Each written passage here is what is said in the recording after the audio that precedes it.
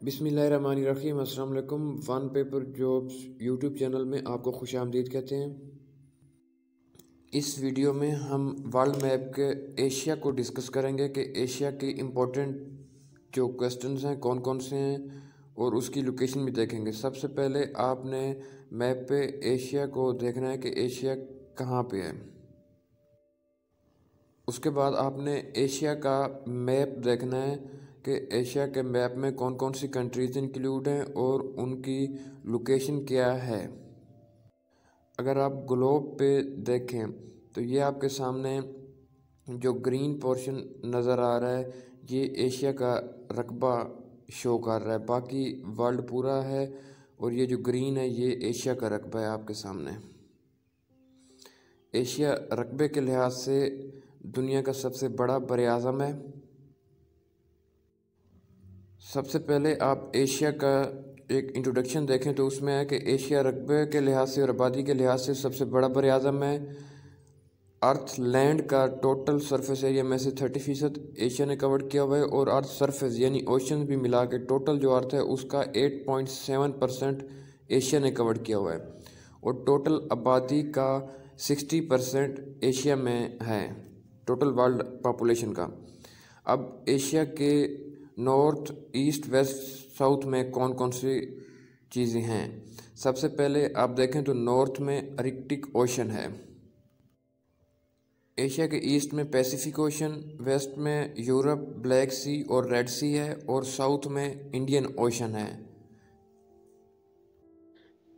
Asia को map में देखें तो आपको नज़र आएगा कि एशिया की कौन सी साइड पे क्या चीज़ वाक़ है। अगर मैप को जूम करके देखें तो आपको एशिया के नॉर्थ में रिक्टिक ओशन नज़र आएगा।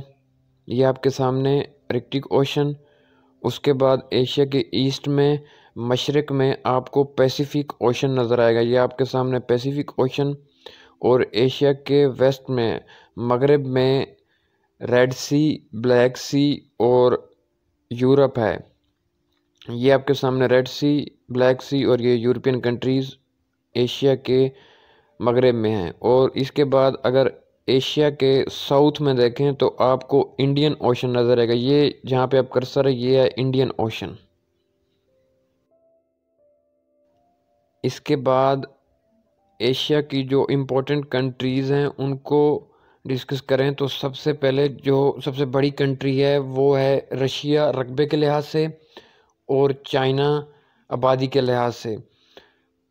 उसके बाद जो इम्पोर्टेंट कंट्रीज़ में Russia, China, Japan North Korea South Korea India Pakistan Iran Saudi Arabia और भी बहुत सारी कंट्रीज़ हैं जो काफ़ी ज़्यादा इम्पोर्टेंट हैं एशिया में। वर्ल्ड मैप में जो कंट्रीज़ और उनके कैपिटल होते हैं, उनको वैसे ही याद करना होता है।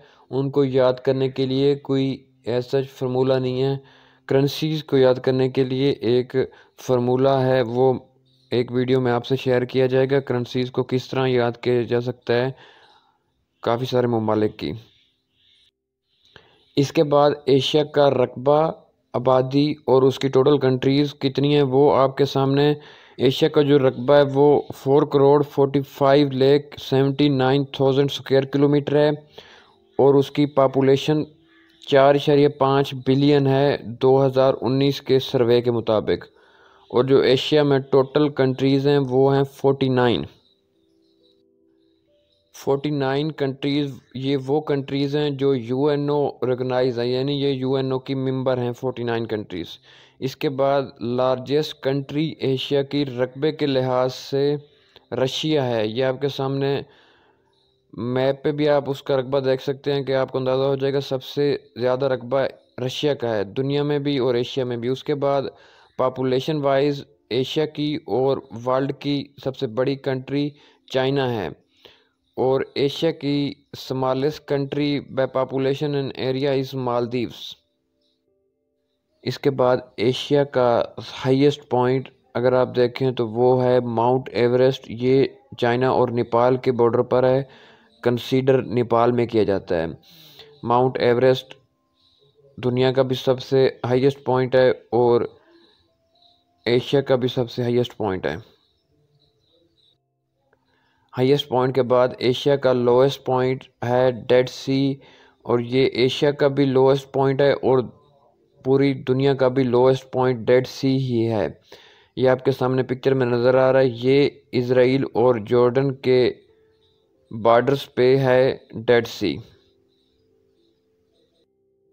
एशिया में total eleven land landlocked countries हैं, यानी जिनको डायरेक्टली ओशन का पानी नहीं लगता, वो टोटल अलेवन कंट्रीज़ हैं एशिया में, और जो मेजर लैंग्वेजेस एशिया में बोली जाती हैं, वो सबसे ज़्यादा चाइनीज़ हिंदी रशियन और अरेबिक हैं, जो एशिया में सबसे ज़्यादा बोली जाती हैं। चाइना एशिया में है, और उसके बॉर्डर के साथ सिक्सटीन कंट्रीज़ का बॉर्डर अटैच होता है। इसके बाद एशिया का सबसे बड़ा रिवर देखें लार्जेस्ट रिवर ऑफ़ एशिया तो वो यंगटेज है। ये चाइना में वाक़ है और तिरसठ सौ अस्सी किलोमीटर इसकी लेंथ है। उसके बाद एशिया का third largest river Mekong river है। इसको मदर ऑफ़ रिवर्स भी कहा जाता है। ये भी इसका मेजर पोर्शन चाइना में है, बाकी भी और कंट्रीज़ में इसका पोर्शन है कुछ।